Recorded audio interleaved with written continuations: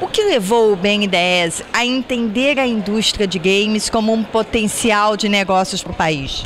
Bom, na verdade, a indústria de games ela é uma indústria que tem uma vocação muito importante, é um setor de geração de recursos econômicos.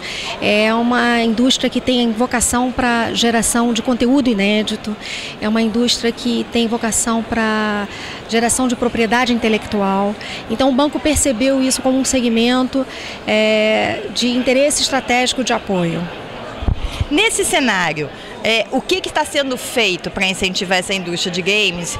Porque no estudo se coloca muito claramente que são pessoas, é, são é, desenvolvedores que precisam de recursos, é um, é, um, é, um, é um cenário, o BNDES muito acostumado com as grandes empresas, é um cenário diferente. Como é, o que está sendo feito para incentivar a quem faz o game?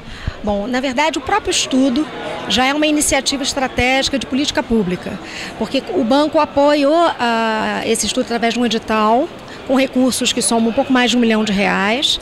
É, e esse estudo está público para que todos os parceiros, players de mercado, inclusive o próprio BNDES, possam utilizar suas informações para as próximas definições de estratégia de negócio para esse setor.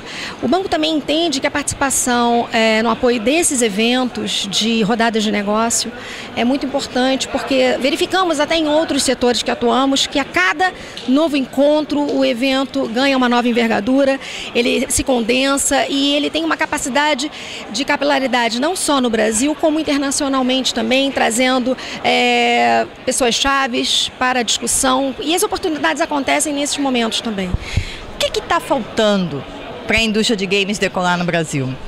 Bom, é, eu gostaria de ter em poucos minutos essa resposta. Eu entendo que nós já temos um arcabouço regulatório em andamento, isso é muito importante.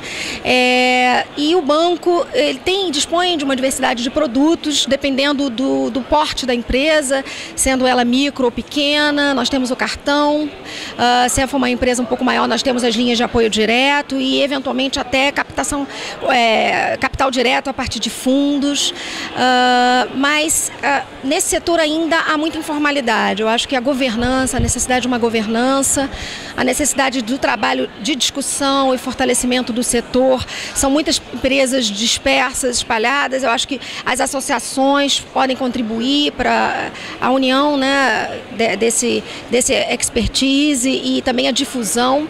Uh, mas eu acho que há um clima muito positivo, é, é um momento muito é, peculiar que estamos vivendo, não só no setor de games, como também de todo o audiovisual, que o banco também apoia, é, porque existe uma demanda muito grande.